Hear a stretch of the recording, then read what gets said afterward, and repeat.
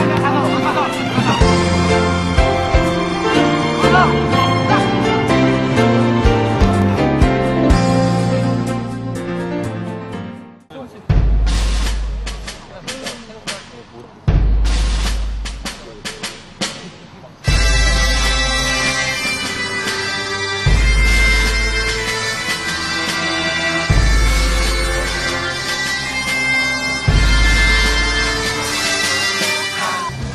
사우디에서 쉽지 않은 길이 될 것 같지만 이제 최, 우승을 목표로 하고 있기 때문에 열심히 해서 좋은 결과 보여드리겠습니다.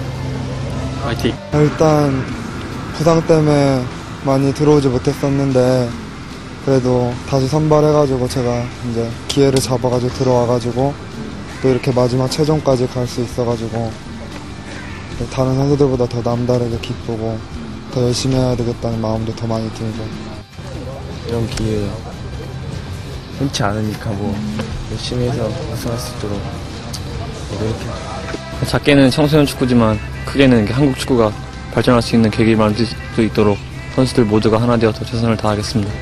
감사합니다.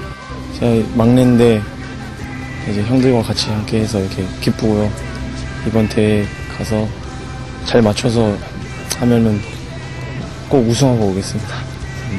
일단 부상이 많았지만 이번 대회에 참가하게 된 그런 부분에 대해서는 굉장히 모든 부분에 대해서 되게 감사한 마음을 갖고 있고 더 열심히 해야겠다는 그런 생각을 갖고 있습니다. 일단 개인적으로 주장이라는 그런 큰 임무를 맡게 해준 감독님한테 일단 감사드리는 마음이 있고요.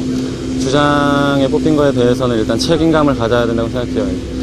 팀에 대해서 다른 선수들보다 더 희생하고 더 부지런해야 되고 더 솔선수범해야 된다는 것을 알고 있기 때문에 그런 부분에 중점을 두고 또 팀이 좀 더 좋은 성적을 내고 좋은 모습을 보일 수 있는데 더 노력할 생각이에요.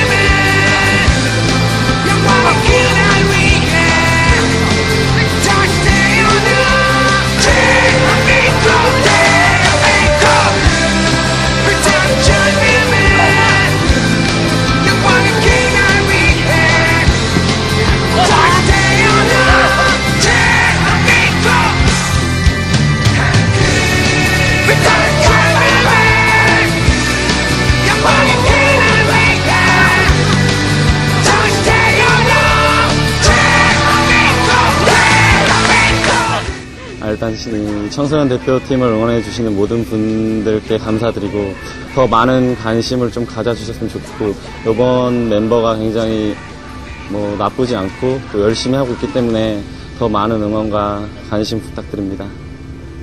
네.